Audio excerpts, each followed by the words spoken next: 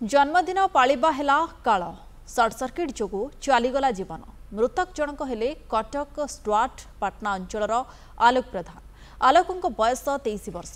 ଆଲୋକ ତାଙ୍କ ସାଙ୍ଗ ଆକାଶଙ୍କ ଜନ୍ମଦିନ ପାଳିବା ପାଇଁ କଟକ ତୁଳସୀପୁର ସ୍ଥିତ ମଧୁକୁଞ୍ଜ ପାର୍କ ଯାଇଥିଲେ।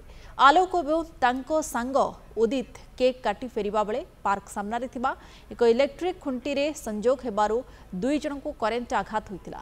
ଘଟଣାସ୍ଥଳରେ ଆଲୋକଙ୍କର ମୃତ୍ୟୁ ହୋଇଥିଲା। ଉଦିତ ଗୁରୁତର ଭାବେ ଆହତ ହୋଇଥିଲେ। ଦୁଇ ସାଙ୍ଗଙ୍କୁ ଏସ୍ସିବି ମେଡିକାଲକୁ ସ୍ଥାନାନ୍ତର କରାଯାଇଥିଲା।